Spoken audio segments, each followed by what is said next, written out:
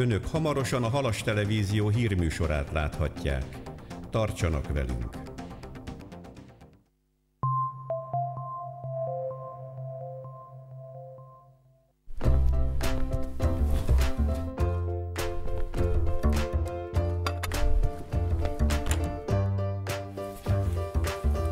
Szia, drágám, megjöttem. Hát ez tuti, hogy az idén is elfelejtette. Ó, mi van? Nem névnap, nem születésnap, nincs karácsony. Na, ezért van önnek is szüksége a 2018-as Kiskunhalasi fali naptárra. A kiadvány oldalain csodálatos természetfotók láthatók, emellett a városi rendezvények időpontjai is megtalálhatók. Kapható 1200 forintos áron a Halas Média ügyfélszolgálatán, a Város Marketing Irodában, a Líra könyvesboltban és a Mappa Papír Kossuth utcai üzletében.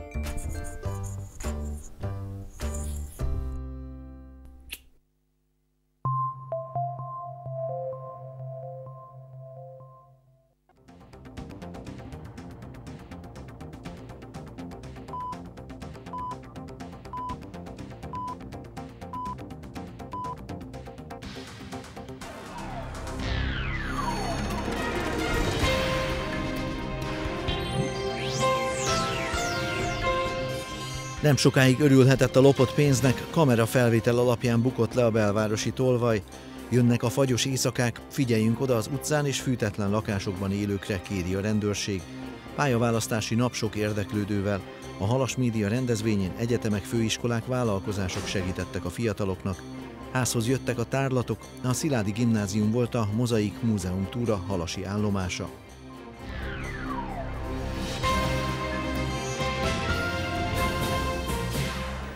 Köszöntöm Önöket, a Halas Televízió szerdai hír összefoglalóját látják.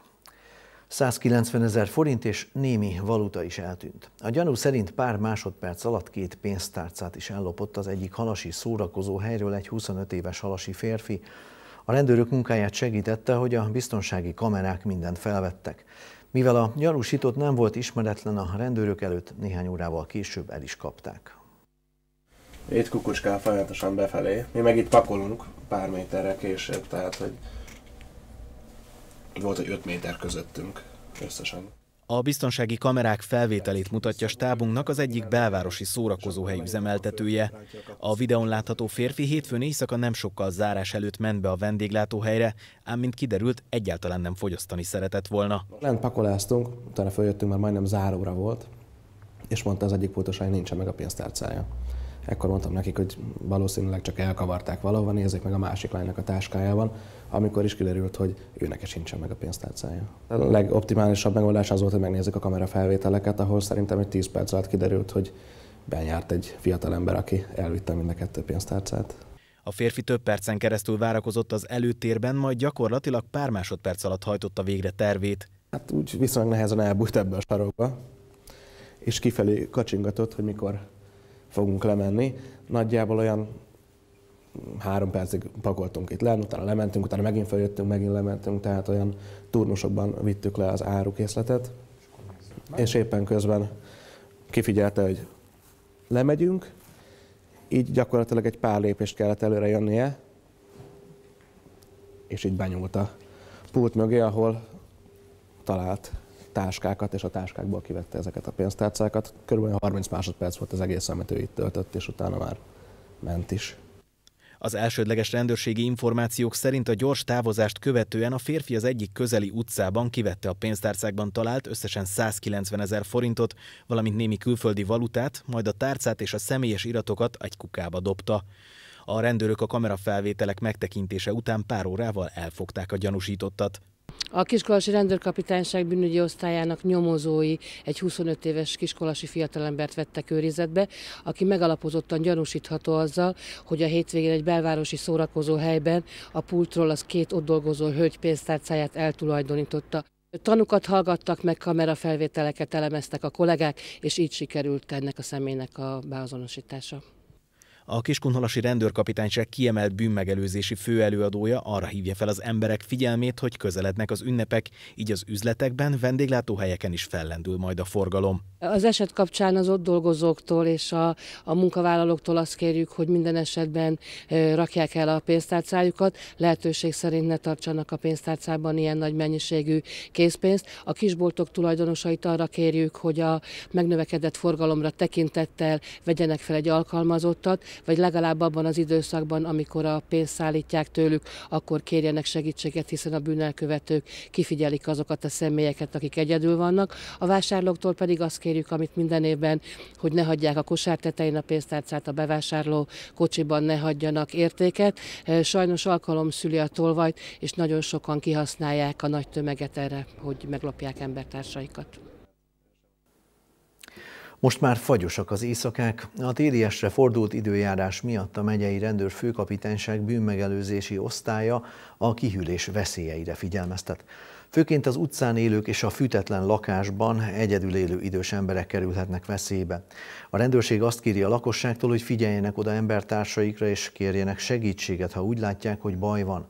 A rendőrök csak úgy, mint az elmúlt években ezen a télen is kiemelt figyelmet fordítanak a hajléktalanokra, illetve a fűteni nem tudókra, és gondoskodnak a krízisben lévők biztonságba helyezéséről. Csalókra figyelmeztet a térség áramszolgáltatója. Valaki különös telefonhívásokkal ijesztgeti a társaság ügyfeleit. Az áramszolgáltató ZRT közleménye szerint az ismeretlen számról érkező hívásban áramlopással gyanúsítják meg a hívott felet, és azonnali kikapcsolást helyeznek kilátásba. Az 50-es és 60-as előhívóval kezdődő telefonszámot nem lehet visszahívni. Az áramszolgáltató ezúton is felhívja a lakosság figyelmét arra, hogy a társaság munkatársai minden esetben igazolják magukat, és semmiféle készpénzes díjbeszedést nem végez a fogyasztó lakásán vagy telephelyén. A helyszíni munkavégzésről pedig mindig előzetesen értesítik az érintett felhasználókat. A díjtartozásról és a szolgáltatás kikapcsolásáról térti vevényes levélben kapnak felhívást az érintett fogyasztók, Akiben bármilyen gyanú merül fel, a nap 24 órájában kérhet ellenőrzést telefonon az áramszolgáltatótól. Egyetemek, főiskolák és halasi vállalkozások adtak tájékoztatást a végzős diákoknak. Pályaválasztási napot rendezett ma délelőtt a Halasi Média és Kultúra Kft. A fiatalok többsége konkrét kérdésekkel érkezett a kiszemelt felsőoktatási intézmény standjához, de akadt olyan is, akinek bár eddig nem volt elképzelése a továbbtanulásról, most sikerült szimpatikus szakirányt választania. Na, ez téged érdekel. Élénk volt az érdeklődés a Halasi Média és Kultúra Kft. által szervezett pályaválasztási napon. Az érdeklődő diákokat és a standok képviselőit a város nevében dr. Bognárné Nagyéva köszöntötte. Mint mondta, a továbbtanulás a fiatalok eddigi életének egyik legmeghatározóbb momentuma. Ez meghatározó pillanat életükben, az érettségi és hogy hová adják be a továbbtanulási jelentkezésüket, mert sok minden eldőlt már évek alatt, hiszen van, aki azért választott iskolát, azért választott fakultációt, illetve a szülők irányítása is sokat számít, de ez a továbbtanulási tájékoztató megint egy fontos segítség szerintem számukra, ahhoz, hogy pontot tegyenek a végére, hogy tudják, hogy hova mennek tovább tanulni. A mai rendezvénynek a Bibó István gimnázium aulája adott otthont. Az iskola igazgatója szerint nagyban segítheti a diákok döntését az, hogy ilyen színes a kínálat a felsőoktatásban és a munkahelyek tekintetében. Mindenféle továbbtanulási lehetőséget képviselnek a felsőoktatási intézmények. 22 kiállító van, és ez alkalmas arra, hogy aki valamilyen pálya iránt érdeklődik, és mondjuk éppen azt a szakot nem találja, de az adott iskolának a képviselője viszont tud róla mesélni, tehát mindenképpen információt tud kapni mindenféle diák. A tapasztalatok szerint az érdeklődő diákok általában azonos kérdésekkel fordulnak a felsőoktatási intézmények képviselőihez. Erős a matematika, úgyhogy ez általában egy fontos kérdés, hogy lehet-e teljesíteni. Ha én nem négyes vagyok, ötös vagyok, akkor a menni fogja a matek, vagy milyen a hallgatói élet, ez is nagyon fontos választási preferencia valamint azért az anyagi lehetőségek vagy elhelyezkedési lehetőségekről is szoktak érdeklődni. A továbbtanulás előtt álló fiatalok többsége örült annak, hogy nem kell vidékre utazniuk az információgyűjtéshez, hiszen most itt, egy helyen minden számukra fontos kérdésre választ kaphattak. Szerintem ez egy nagyon hasznos dolog, és ö, ilyen szempontból ennek nagyon is örülök, és szerintem ez egy igen pozitív dolog, hogy a diákokat informálják, és ö, kicsit könnyebb így nekünk sokkal a helyzetünk. Milyen kérdéseket tettél fel, mi az, amire kíváncsi voltál leginkább? Megkérdeztem, hogy hány, hogy mi az szükséges a felvételéhez, ugye, meg hogy miket lehet megtalálni a, szak, a szakon, vagy éppen akarom, hogy miket lehet tanulni. A pályaválasztási nap egészen a délutáni órákig várta az érdeklődőket. Bár ez a mostani nyírkos idő kedvez a kórokozóknak, szerencsére még nincs influenza járvány a térségben. A 46. héten a házi orvosok jelentése alapján a Kecskeméti, a Halasi és a Kalocsai járási hivatalok illetékességi területén összesen 18-an fordultak influenza-szerű tünetekkel orvoshoz. Ennek ellenére még nem késő beadatni a védőoltást. A tapasztalatok szerint az influenza szezon általában január közepén kezdődik, és mintegy két hónappal később ér véget. Minden esztendőben az egészségügyi világszervezet határozza meg, hogy melyik három komponens kerüljön be a vakcinába, melyik három véd legnagyobb valószínűséggel a kitörő járvány ellen. A védőoltást kérők számát pedig mindig nagyban befolyásolja, hogy mennyire volt eredményes az előző évi vakcina, áll a kormány.hu-n közreadott közleményben. Ma nem a diákok mentek a múzeumba, a múzeumok mentek az iskolába. A Mozaik Múzeum túra egyik állomása volt a Sziládi Járon Református Gimnázium. Az interaktív múzeum pedagógiai foglalkozásokon kipróbálhatták a fiatalok, milyen a pilóták élete, és beöltözhettek a 48-as szabadságharc korabeli katonai ruhákba is. Nagy volt a sürgés forgás a Sziládiáról református gimnáziumban, lelkes csapatok jártak teremről teremre. A diákokat izgalmas feladatok várták a Mozaik Múzeum túra állomásain.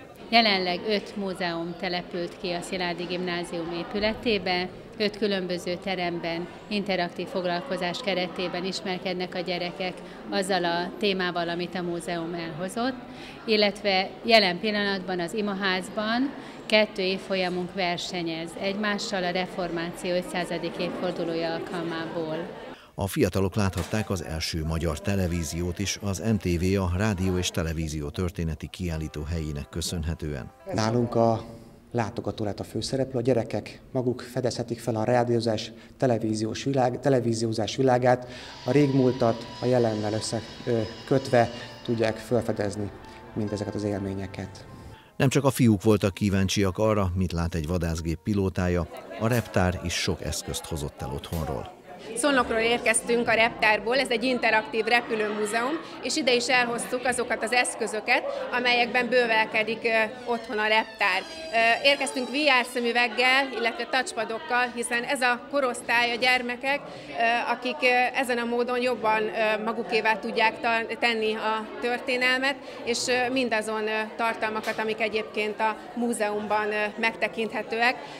Nagyon sok repülőgépünk van, és interaktív elemünk, ezzel érkeztünk ide a rócsóra is. Előtöltős fegyverek voltak, és ha volt a, a csőbe lövedék, akkor a, tehát maga a fegyvernek a csöve nem nézhetett a viszintes alá. Ugye az ember így tartotta volna, akkor ha volt be lövedék, az kiesik. A diákok szerint nagyon jó kezdeményezés az ilyen múzeum túra. Ez a múzeumoknak is jó, mert, mert van egy, egy egy élő reklám tulajdonképpen, és a gyerekeknek közelebb kerül minden élmény, tehát konkrétan házhoz jön. Egyébként szoktatok múzeumba menni? Igen, igen. Ritkán, de hogyha idegen településen járunk, akkor mindenképpen. Nem mindegyik gyereknek van kedve, hogy most úristen elmegyünk egy múzeumba, és például eljönnek ide hozzánk, és tök érdekesen elmesélik az egész történetet a múzeumnak, hogy mi történik ott, és szerintem ez egy pozitív dolog számukra ezáltal azoknak a gyerekeknek, akik nem feltétlenül múzeumban mennek, e, csábítóbb lehet egy múzeum? Persze, na ne. Én ezek után bármelyikbe elmennék szívesen. A bizottságok már véleményezték a témákat, holnap pedig a képviselő testületen a sor. Csütörtökön délután 2 órakor kezdődik a tanácskozás, amelyet a Halas Televízió élőben közvetít, de az interneten is figyelemmel lehet kísérni az előterjesztések megvitatását és a szavazásokat. Közel 30 témában kell majd dönteni. Többek között szó lesz a térfigyelő kamerákról, tanyák fejlesztéséről és a hajléktalan szállóról, illetve a városi ifjúsági sportkoncepcióról is. Híradónk végén összefoglaljuk a legfontosabbakat. Nem sokáig örülhetett a lopott pénznek, kamerafelvétel alapján bukott le a belvárosi tolvaj. Jönnek a fagyos éjszakák, figyeljünk oda az utcán és fűtetlen lakásokban élőkre, kéri a rendőrség. Pályaválasztási nap sok érdeklődővel. A Halas Média rendezvényén egyetemek, főiskolák, vállalkozások segítettek a fiataloknak. Házhoz jöttek a tárlatok, a Sziládi Gimnázium volt a Mozaik Múzeum túra halasi állomása.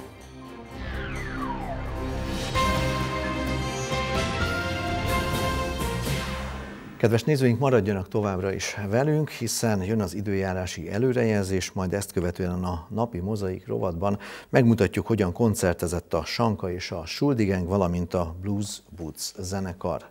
Fél nyolckor kezdődik a Beszéljünk róla. Ebben a műsorban a sztómások lelki és fizikai utógondozásáról lesz szó. Az adás vendége dr. Nagy András Péter, sebész főorvos és Szaszkó Józsefné, nővér. Hamarosan tehát ezzel a témával folytatjuk 30 percben. Köszönöm figyelmüket, viszontlátásra!